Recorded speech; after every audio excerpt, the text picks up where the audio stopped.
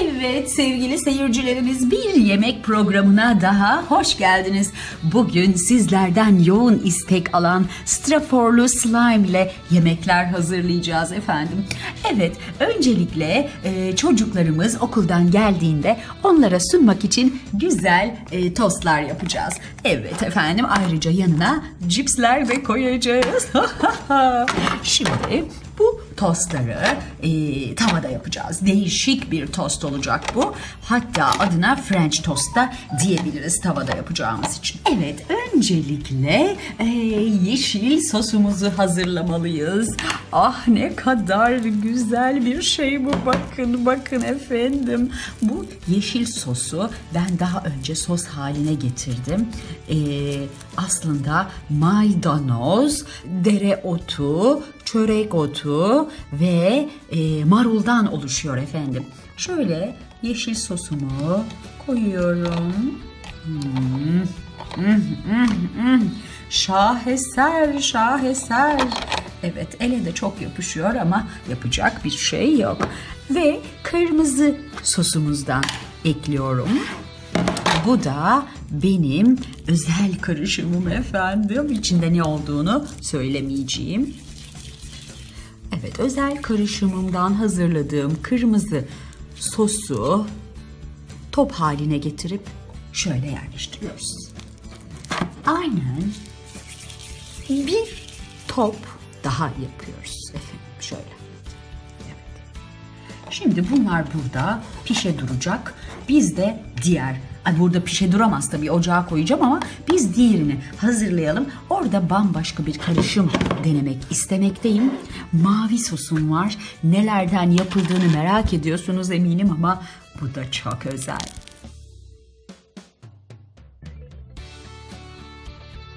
Mavi bir yemeğimiz yok. E, ben bunu kendim uydurdum. İçine gıda boyası koydum.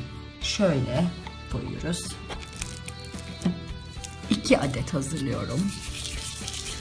Ay ne zevkliymiş bunlar. Ay ay straforlu yemek çok harika oluyor doğrusu. Bakın bir ha buldum buldum mürekkep balığı bu. Mürekkep balığı e, koyduk.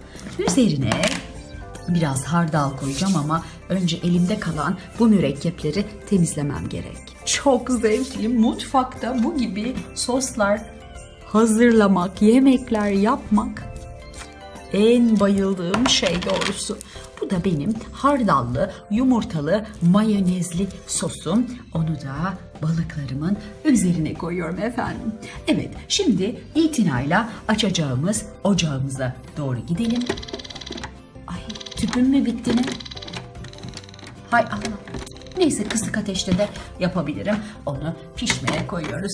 Caz cüz sesleri duyuyorsunuz. İşte enfes olacak birazdan enfes bir karışım. Şimdi hemen ne yapıyorum? Şuradan bir tabak alıyorum. Tabağımın da süsü çıkıyormuş neredeyse. Şimdi tabağımın içine gene hardal, mayonez, soslu, yumurta soslu şu karışımından biraz bakın şöyle uzata uzata hatta bırakıyoruz. Ve yanına hemen e, sanki bir domates sosuymuş gibi kullanılmak üzere şu sostan bırakıyoruz.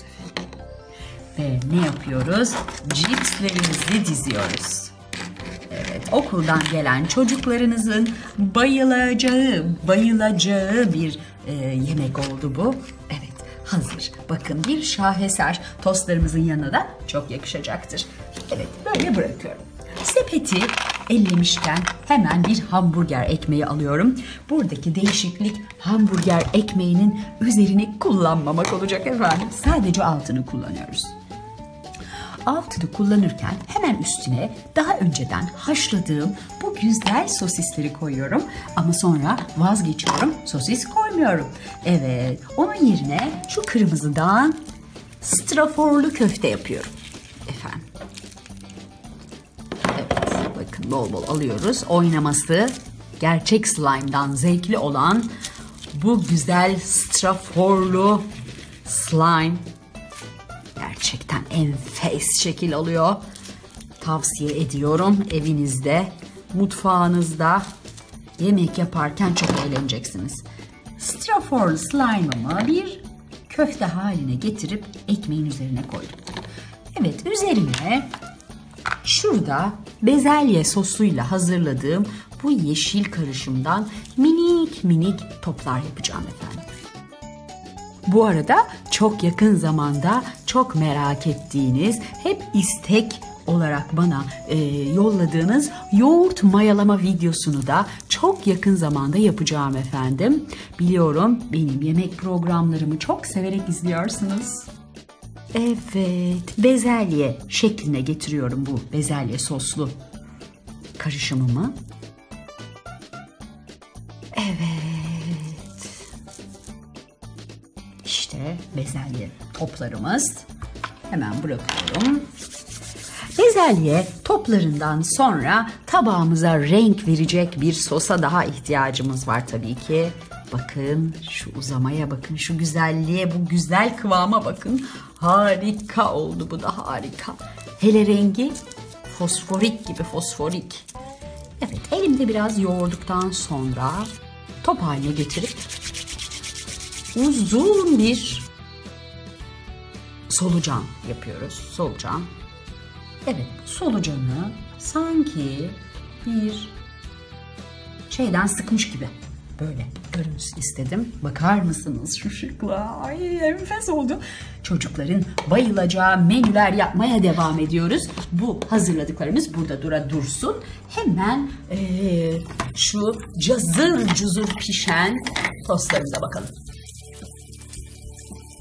Evet, ay şunun güzelliğine bakar mısınız?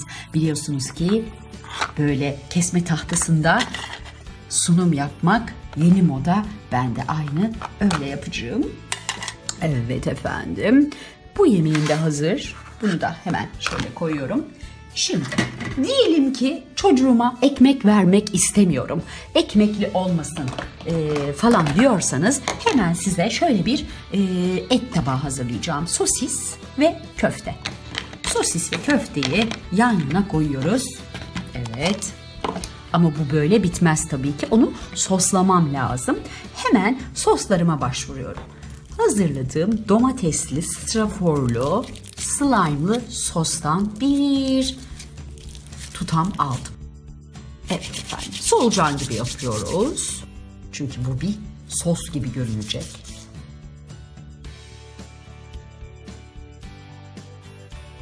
Evet. Hemen bezelye sosu da ekleyelim ki bari çocuk sebze de yemiş olsun. Yemek yememeye son. Yemek yemeyen çocuklarınıza yapın bunlardan. Oh! Şöyle örgümsü gibi falan yapalım bunu da. Efendime söyleyeyim hemen sarıdan. Ay bakın bakın.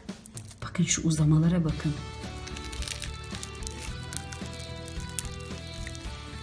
Enfes bir görüntü. Tadı gibi görüntüsü de güzel soslarımdan satışa sunacağım tabii ki ama biraz çalışmam gerekiyor. Evet bunu da şöyle ikiye bölüyorum. İki patates gibi koyuyorum. Halbuki o kadar besleyici ki çocuk bunu patates sanacak, yiyecek. Nasıl anneleriniz kereviz yemeği yapıyor, içine patatesleri koyuyor. Kerevizleri de size hop patates gibi yutturuyor. İşte bu da öyle bir şey. Çok besleyici çocuklarınıza bunlardan sunabilirsiniz efendim. Hatta şunu böyle restoranlarda sepet yapıyorlar ya bakın şöyle. Heh, bu da soslu. Bu da soslu şöyle bakın.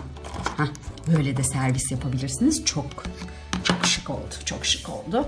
Evet. E, eminim siz de bu sosları mıncıklamak, ellemek istiyorsunuzdur. Fakat olmaz, olmaz. Bunlara izin veremem ama size bir tavsiye. Eğer böyle minik straforlar buluyorsanız bir de slime hazırlıyorsunuz. Ne yapıyorsunuz? Straforlu slime'ınız olmuş oluyor.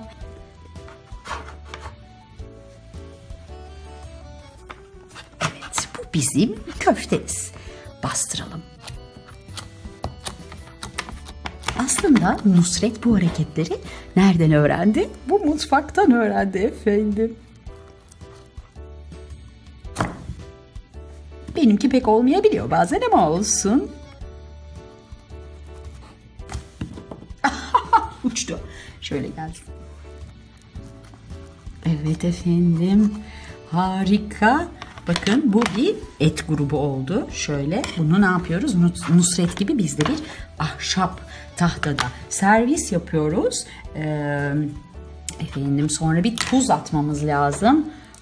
Şöyle hemen Nusret tuzu. Benim tuzlar dökülmüyor. Döküldü farz edelim. Bu yılan dansı gibi bir şey aslında. Evet, evet. Bunu da menüme ekliyorum. Çok nefis oldu ama biraz sarılık, yeşillik falan istiyor bence. Hemen şundan alalım. Patates yapalım şöyle.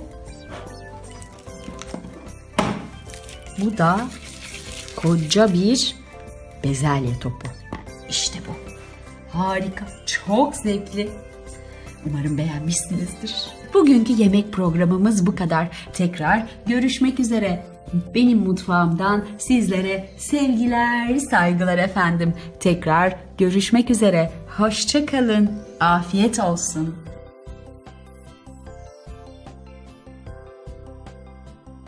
Merhaba, burayı tıklayarak bana hemen abone olabilirsin. Ve ayrıca senin için seçtiğim videoları izlemek istersen bu pencereleri hemen tıkla. Şahane videolar seni bekliyor.